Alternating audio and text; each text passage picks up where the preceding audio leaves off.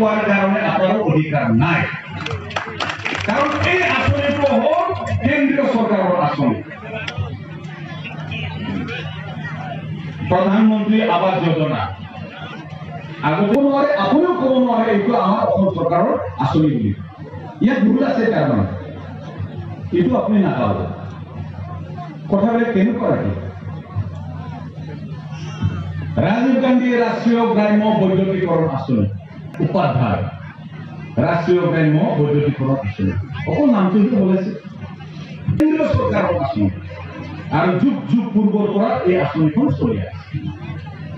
বিত্তমন্ত্ৰী ডাঙৰীয়া আপোনাৰ আঁচনি ক'ত কিবা বোলে কি বুলি কয় এইটো অৰুণোদয় আঁচনি কিবা কি বুলি কয় এইটো বিবাহ দিয়া, হব না দিয়া, নহব, কি কথা কৈ আছে এই এনেকুৱা ধৰণৰ যিখিনি বক্তব্য উপৰুণা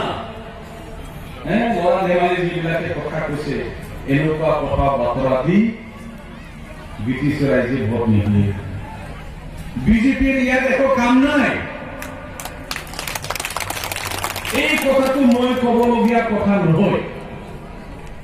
সৰ্ব সমষ্টিবাসী ৰাইজ, এইখন মৰ্তনগুৰি বিটিচি সমষ্টিবাসী ৰাইজ, আপোনালোকে ইতিমধ্যে টেঙাও নহয় তিতা আম কাই থৈছে ইয়াত।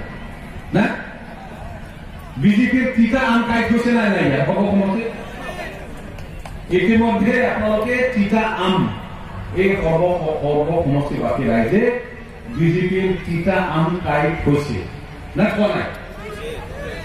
কাৰণ ইয়াৰ সন্মানীয় বিধায়ক হ'ল ৰাজ্যিক সভাপতি আমাৰ বিজেপিৰ ৰঞ্জিত দাস নিজেই। মই ভুল কথা কৈছো নাই ৰঞ্জিত দাস ডাঙৰীয়া এইখন সৰ্ব সমষ্টি বিধানসভা সমষ্টিৰ সন্মানীয় বিধায়ক। আৰু তেখেতে সকলোতকৈ উচ্চ স্তৰৰ ৰাজ্যিক পৰ্যায়ৰ বিজেপিৰ সৰ্বশ্ৰেষ্ঠ মহান এজন ব্যক্তি তথা সভাপতি। তো এই অঞ্চলৰ দূৰ অৱস্থা এই অঞ্চলৰ এই সমষ্টিৰ ৰাইজক